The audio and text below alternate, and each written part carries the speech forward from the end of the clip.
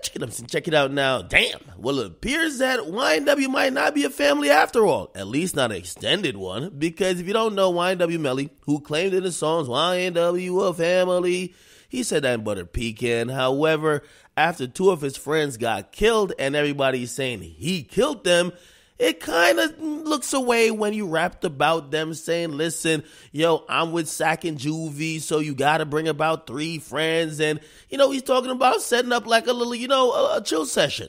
One chick bring two other friends because I'm going to be with two of my niggas. Turned out those are the same two niggas that they're saying he killed. Okay?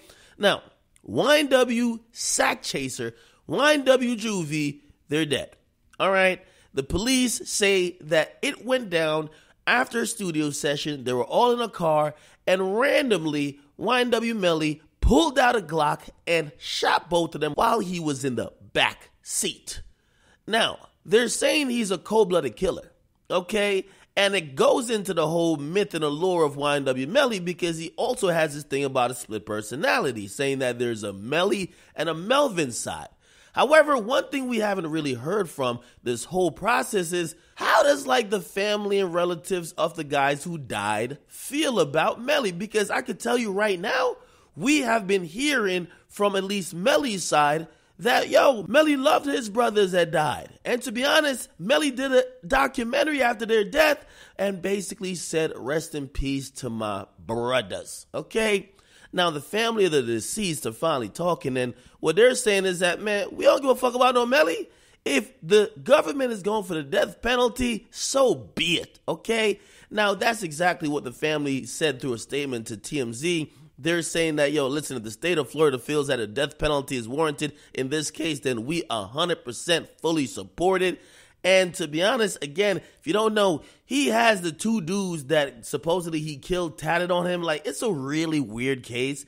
However, it's the first time we're seeing families kind of rock out and be separate because some people were saying that, yo, maybe the families are going to support uh, YNW Melly's defense because if you don't know, the whole like story that they brought to the cops initially when the guys died is that the guys died in a drive-by shooting.